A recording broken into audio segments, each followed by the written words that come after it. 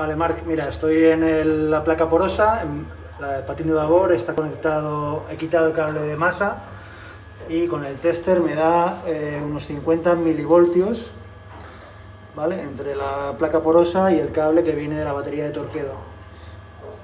Ahora está subiendo un poco, pero bueno, unos 50-60 milivoltios. Ahora baja, sube, a ver si tengo mal contacto. Vale. Además se ve que oscila bastante. Ahora mismo estamos enchufados a tierra en el puerto y bueno, hay unas pequeñas oscilaciones. Ahora está en negativo. Vale, la conexión la tengo yo bien, bien hecha y se ve que hay oscilaciones, más o menos de menos 50 más 50. Que no, es estable, pero no es un valor muy alto. ¿Ves? Ahora está en negativo otra vez. Ahora subí hasta 90, baja otra vez a cero, negativo y positivo. Vale, pues esos son los datos que estoy viendo.